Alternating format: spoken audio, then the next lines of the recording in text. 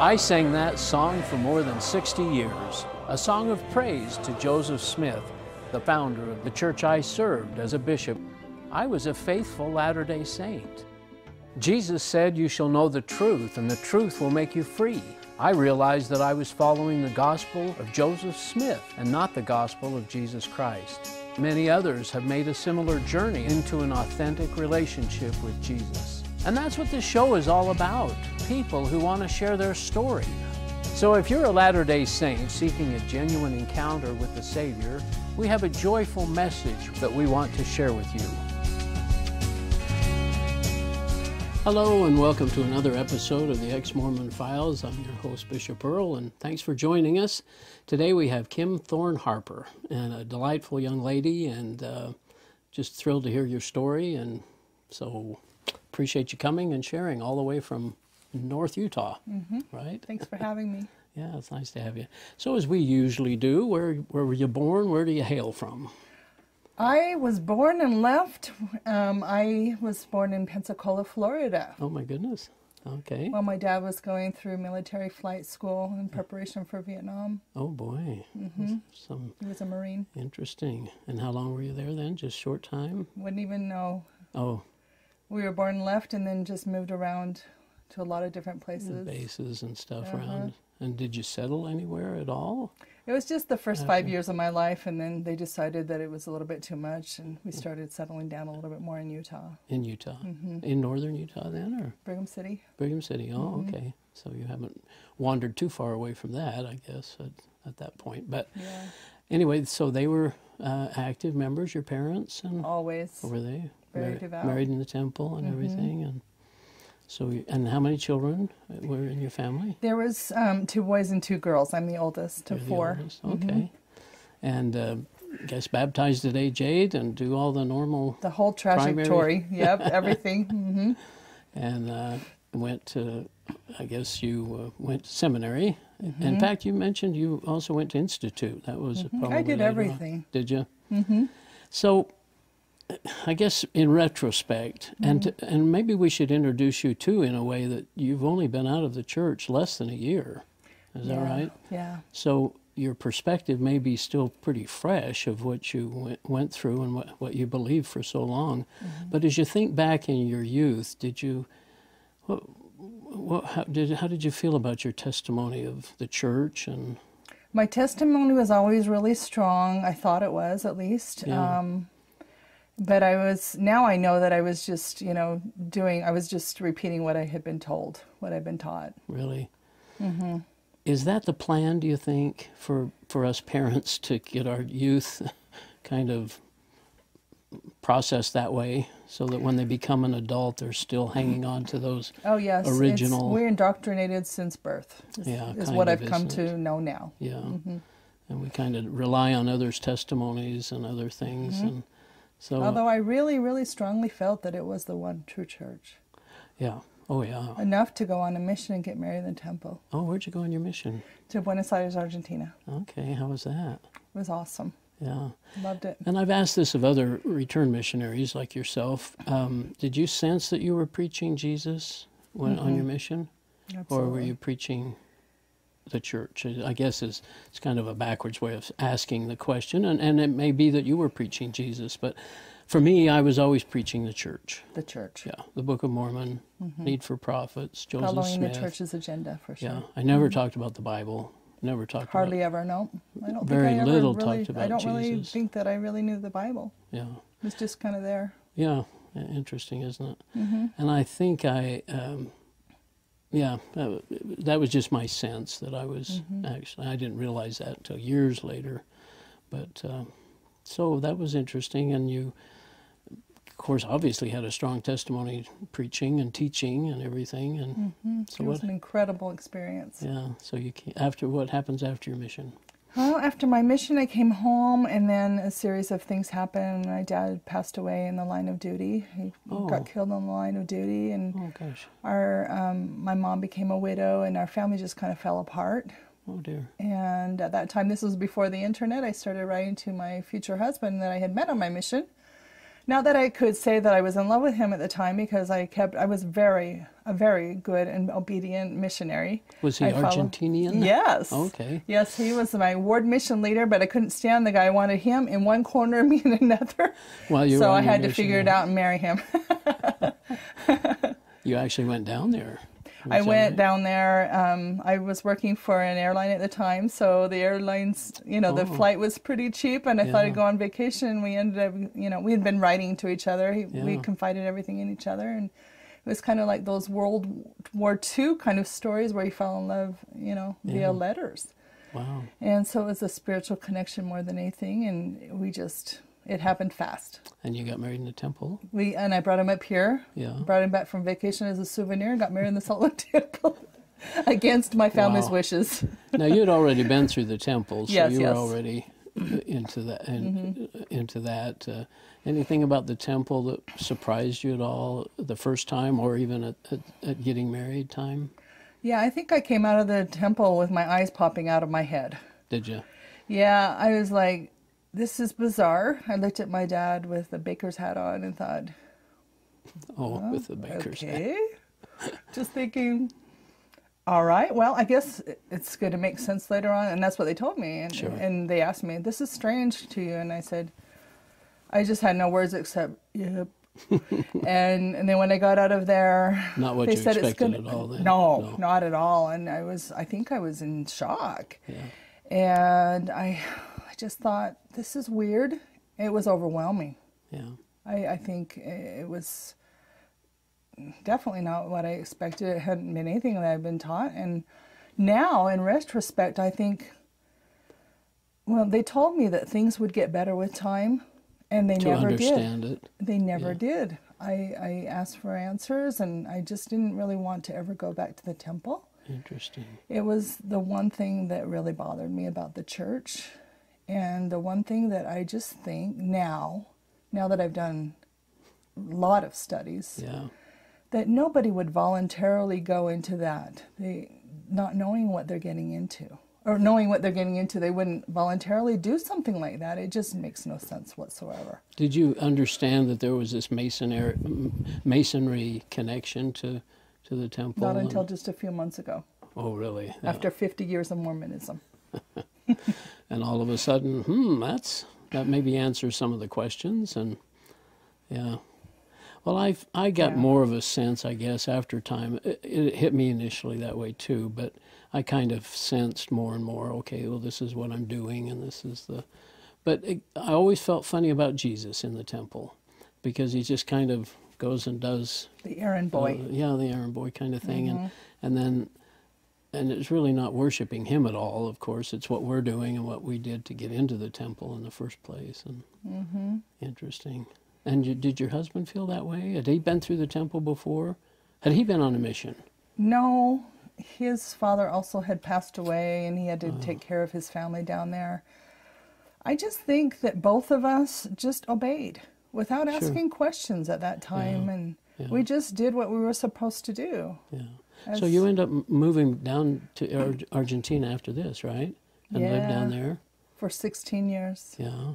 And uh, and just active. You were, I know you were primary teacher and Mm-hmm. Gospel everything. doctrine, and Yeah. always played the piano. I guess. Eternal pianist, doc, gospel doctrine teacher in Spanish, you know, Yeah. for fi- and about just five years. no question that the church was true, or no, Yeah. not at all. yeah. Okay, so what happens in life? Well, uh, my husband all of a sudden dies Oh, uh, right before what was going to be our best Christmas mhm. in December of 2011. this was after of course, we had 16 two. years. Huh? Mhm, After 16 kids? years, he just died all of a sudden, just really traumatically. Oh, And I was forced, and I had my two boys down there, Alan and Dylan. And at that time, I was just forced to, you know, we had our beautiful house down there. We had our lives established. I had my profession. I'm a linguist. mm, and it was going really, really well. Of course, if you know the if you earn in dollars and, and spend in pesos, you're going to a lower currency. You can live very well. We had everything very organized. Um, but I hadn't been home in 16 years, and that's another story in itself. But um, after that, I was forced to rethink what the future of my family would be, and I realized, and I, I did as much soul searching and praying as I could. I realized that it wouldn't be a wise decision for us to remain down there, for security reasons. The country was going into mm. one of many crises. Another one was heading in, and I just, I just felt like I really needed to reconnect with my family and reconnect with my country, become an American again, basically. Yeah. Mm-hmm. And um, so I, I decided that I would just go back and visit my family. And so bring um, the boys out too. Yeah, yeah. So I we took an investigation trip, and within two days, I told my mom I want to be here with you. and my mom um, was dying pretty much.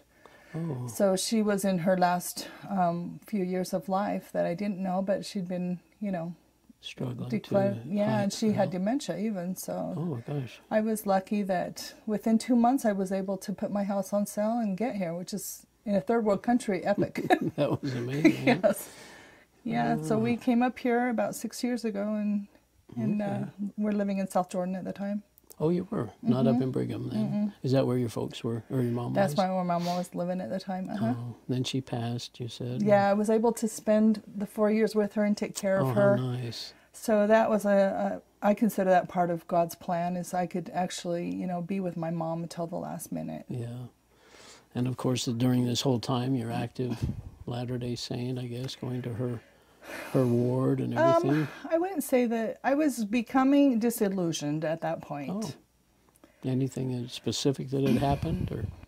Yes. Um, I had, um, you know, I had become a widow, and I was attending my mom's ward, and um, just, I was being treated differently, and I wasn't being taken care of. Is what I saw. Kind of a single mom, of course. A single and, mom, yeah. but very judged because nobody really understood the dynamics of everything that had gone on. And nobody mm. wanted to talk about it either. Gone on in the sense of losing your husband, you mean? Losing my just, husband, and just, you know, 16 just, years had gone by. Yeah. That's okay. A, that's a book. yeah, yeah. And I wanted to talk about it, but nobody really wanted to hear what was going on, what had gone on in 16 years, and how life really was. And um, but the fact was, I had lost my husband to a very traumatic um, death. And, you know, I needed to bring my boys here. They didn't know English. Oh, yeah, of course. There was a lot of adjustment. Yeah, I can imagine. But who was having the most difficult adjustment was me, even more difficult than the boys. Yeah, tell us about that. so I'm back in Utah, and if you've lived in Argentina, you know, or been visited there, Buenos Aires, it's very European. It's very uh, progressive. It's cosmopolitan. It's like a Paris in the middle of South America. Oh, okay. I didn't know that. So it's very different from a lot of people's uh, image of Latin America. And I was teaching English down there. And um, a lot of the people that I would teach were very well read and very, um, you know, well traveled. They really knew what was going on. Okay. And so that kept me, you know, going. And it was a very open minded, very tolerant, and acceptable society. So to come back here to Utah, where I was raised, for me, after 16 years, felt like I had been boiled alive. or cold water or whatever, the ice bucket challenge, I don't care what you want to call it. It was such a, a reverse culture shock for me to come back into this community. And you could sense it. I could feel, I could cut it with a knife. Interesting. The control, the mind control, the, the, lack of openness. Hmm. I I was dying. I just really was not adjusting well. Were you hanging on to your testimony at this point? I mean, did you have a still I, a sense that the church was true, right? Or did yes, you? yes, that was true, but it wasn't for me. Oh, okay. I had this sense that I didn't belong there. You were also running into another s- unusual situation that I probably have never really thought about but okay. certainly hits, and that's your dating opportunities, so on. Tell yeah, us about so, that. So, um, within a reasonable time, I start to think, well, okay, you know, I'd like to get married again. So I start dating, and um, that was more than interesting. Um, I started, you know, dating LDS people, LDS men, excuse me. Sure. and and after a while, the relationships start to fizzle out if they're active because they don't want you because you're already sealed to another man. Boy, it struck story. me so much when you when I read that from from your story. Mm-hmm. Um, so anyway, t- tell us more about that. So the relationship progresses to a certain point, and then they make up an excuse why they, they can't continue with. But what it is is it's it's the church that you're not able to make a future together with and get married in the temple. Because you can't take a second husband, but a husband could lose a wife and take another wife, Mm-hmm. right? Right. Yeah. So after a while, I, I just gave up on dating LDS, and I just and it was it was less complicated, you know, with non LDS because they didn't put all those you know, how should I say, Well, yeah. things in the middle and and I, I was and, and then I was getting at the same time I was getting a lot of judgment from who I was dating because why aren't you going to get married? You have no problem dating non LDS, but they didn't know that it was just a lot more complicated than not. Yeah. So I finally, um, you know, when my mom died, I, I inherited some money and bought a house up in Logan. And within two months, I met uh, Michael, who's my husband. And but uh, we were both kind of inactive at the time, so it wasn't a, a big deal. So, So that was, worked out. He was LDS, but he was LDS but inactive. inactive, and he didn't care about going to any church. He wasn't planning on getting married in the temple or anything. so- Not at the time. Yeah. and So- it was uh, something that I just really could never resolve. You know, I asked people. I said, you know, what what do we do in this situation? And my mom, you know, would have been happy. She never liked my husband. She would have been happy to. She says, "Oh, I can get this marriage unsealed really quickly." But then when I go talk to leaders, nobody had an answer. I even went to the prophet's brother, who I've known my whole life. President Monson's brother. Yeah, wasn't Scott Monson, who were my friends. And I What said, "What is say? my what is my um, my state of what's going to happen to me? Am I able to get married in the temple again?" And he had no answer either. And there are no answers. Well, I guess I've never really been faced with this before. Is is it possible to be unsealed to a husband who's passed? Nobody could give me a straight answer. Oh my goodness. I got all kinds of different things.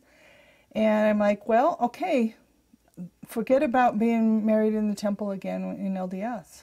and certainly, like you say, you're certainly not going to be able to date active LDS people uh, or men if, if they're interested in having you as a eternal companion. Exactly. So you end up So I kind of go just either inactive LDS. I or- kind of just said, well, I'll, I'll just be happy, you know, playing the harp. be one of the servants, care. huh, or I something. don't care. It doesn't really matter to me. Yeah. You know, Interesting. I'm okay with just being with God. I hope, you know, Yeah. hope I end up with God. At that point, those were my thought. I can just be a ministering angel. It's okay. Really. Because of I had given up the idea of, of uh, celestial marriage. Of course, you were married in the temple the first Right, time, so right. there was that potential. Going forward, I I, mean, yes, yeah, yes, yeah, I understand. Well, that that really is uh, kind fair. of surprising, and it isn't fair, is it?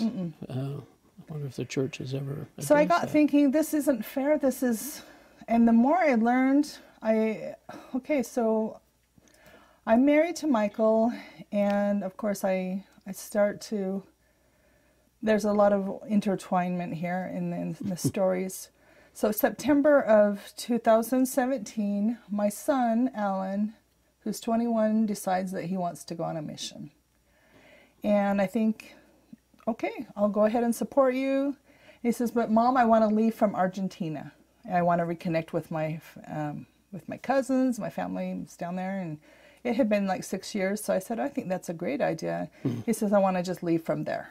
Oh, leave on his leave mission on his from mission Argentina. from Argentina. And I said, that's great. You'll get all the support. So I contacted them, and we arranged everything and sent him down. Okay.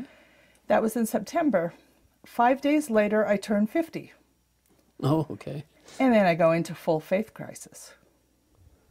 Full Wow. faith crisis. The Lord, I, I can only see it as the Lord just saying, I'm going to show you what you're a part of, and I'm going to show you who I am. I'm going to show you who I am now, the God that you never knew. Wow, what happened? um, I started having friends, Christian friends, just come to me and just just tidbits, and they started showing. Well, first of all, I, I started studying deep, deeply. I, I started to find out uh, about Joseph Smith, the true history of the church. How, what started that search or that curiosity? Do you remember? Yeah, I found out that that he would have been diagnosed with narcissist personality disorder. And I was extremely interested in psychology, and I decided I would go back and get my master's in marriage and family therapy. Oh. So I oh. started that last year. Oh, you did? Oh, good. And they started saying, I saw a quote that said, and you can probably help me, where Joseph Smith says that he's he has more to boast with than than any man ever had, and including had, Jesus, and, including Jesus. And I went, what? How can you say that you're you're better than Jesus? Who does that? Yeah. I only remember one other person that I heard that was John Lennon that said he was more famous than Jesus, and he died in his own vomit a month later. Mm. So that's not something that you want to be out there saying. Yeah. And I said, Who is this person who doesn't even fear God? This is our first prophet that was enough for me just knowing that he was he did not fear God. This could not be the behavior of a prophet to me. So you kind of sense God was leading you along here to oh, absolutely. teach you who he was. Absolutely. So I kept studying, kept studying. What else did you study? Just curious. Well, I found out that Joseph Smith had. Uh, any books? I mean, any books particularly that you. Um, well, I've read a lot of. Uh, I've read Unveiling Grace by Lynn Wilder. Oh, excellent! Yeah. Who I actually got to meet. Oh, you did. Mm-hmm, okay. Later on, but uh, that's another story. Um, and I, I, read a book by Martha Beck that was really, really uh, powerful. I read, read a lot of stuff. I can't okay. remember all the books no. that I read. So tell me. But so I watched a lot of you... your videos too. Oh, you did? yes, and they helped. Did it? Oh, good. Uh, so we're going along, and um, I just realized that there's no way with everything that I found that I can continue to be a member of the church any longer. First of all, I was disillusioned. Second of all, I didn't fit in any longer. Nobody seemed to have a solution for my dilemma. Yeah. Um, and I just, I felt like I just didn't want to be there anymore. But it was the doctrine that actually I studied myself out of the church. I studied so much. Interesting. That's found the true history. Yeah, that's kind of what happened to me. Mm-hmm. Did you have a sense at all that you didn't have a good relationship with Jesus at this point? A hunger. Did you have a hunger? See, when I left, I just thought, okay, the church isn't true. There's something wrong here with the mm-hmm, church. Mm-hmm. But I didn't know until later, when I really started learning about the Bible and Jesus and grace and those kinds of things mm. that I didn't have a relationship with him that I thought I did. Did you feel like you had that relationship early Within on? Mormonism, no. Within. Mormonism, maybe a little in my mission because I was on a more higher. I was on a higher spiritual plane. Yeah. Um, but after that, I just th- thought, is this all there is to it? Yeah. There's got to be more. It's got to be, and I'm a deep thinker. and I'm a highly emotional girl. Yeah. And I was just like, is this all there is to it? There's got to be a lot more. So, you know, I wanted that. I wanted that. And my Christian friends who came out of the woodwork just started helping me. What were they sharing? I have a friend, Carolyn, who I who is a new friend of mine. Um, she got connected through another friend that I work with, with through business. I had one conversation with her, and she was describing that one day she had um, found out that her husband was using drugs, and she found herself going into um, as an agnostic. She didn't believe anymore. But one day she found herself face down on the bathroom door, and she just floor, and she said, "God, are you there? If you're there, I want you to show yourself to me." And he showed up. He showed up and became the biggest part of her life. And she is like this Jesus lover. Yeah. And she talked about Jesus as if he were like this person, like you and I. This strong, intimate relationship, and that she would laugh with him. And I'm like, what? I've never heard anybody talk about Jesus, to have this a relationship. never. I mean, just just unbelievable. And I said, I want that relationship. I want what you have. Uh-huh. And she gave me my first red letter Bible when I went to, you know, my first Yeah. congregation before I met you. Actually, What do you think of that? Well, that was a praise service with a choir. It was a little bit too hallelujah-ish Oh. for me. I needed something a little bit calmer. But the red letter Bible, did you start, jump into that oh, at all? yeah, it's beautiful. Yeah. It highlights the parts where Jesus talks. You know, that was one of the things in my transition that I did get a, a red letter Bible from, I think, Tuesday morning, that store. Anyway, I started reading just the words of Jesus, just the red. And I all of a sudden realized all the things that he didn't talk about it, uh, temple marriage and priesthood and, and all those other things. I just, it was shocking to me in a way. I, I guess I kind of knew a little bit, but it just, it was surprising what he didn't talk about and what he did talk about love and and so on. It was uh, and forgiveness and Yes, it was a totally different uh, perspective. So going back after I decided that I was going to, you know, leave Mormonism, I took my husband for a drive and said, "Guess what? Would anything change? I think I'm going to leave the church. Would things change with us?" oh And he he gave me an answer that I was pretty happy with. He says, "Well, I didn't marry the church. I married you." oh what a sweet thing to say, because you know a lot of husbands and wives Yes. differ over those kinds of things and and have challenges. Well, we're getting about out of time. I think we'll probably visit with you a little bit more. We'll do a maybe a second inter or finish up with a second interview and. Just uh, hear a little bit more of your story. You also have a, uh, a, a blog site that you, and Mm-hmm. I think we have that hopefully posted on the on the computer, or uh, yeah, on the internet. that I'm here. writing about my transition from Yeah. Mormonism to biblical Christianity. Yeah, Yes. and moving from a religion to a relationship. Yep. And hasn't it been that? It's been joyful. I'll bet, huh? I didn't know that I could experience the joy that I have experienced. I'll tell you some just a little tidbit. I've always suffered, you know, a little bit from depression my whole life. It's something I inherited. Yeah. And once I left and I and I came over to, you know, Christianity, that is gone. I feel true joy in my life. I go to church. I really want to go to church. My boys really want to go to church. Joy. Isn't that isn't that fun? So different than. Mm-hmm. I know exactly what you mean. Anyway, we're just about out of Okay. time, and I guess we'll uh, pick this up next time. So I'm not quite sure where we're at. okay. well, Kim, it's it's really a pleasure, and you, you, you tell such a great story. I hope people will read your, your entire story. It's several uh, documents of, Mm-hmm. of, of the journey that you've been on, and you've got more to come, right? You're, Yeah, oh, yes. You're going to be do, adding more to those blog spots and Mm-hmm. stuff. So, anyway, we, as we have said before, you're following the gospel of Joseph Smith, perhaps the ULDS, and not the gospel of Jesus Christ. I think we agree with that. We'll see you next time.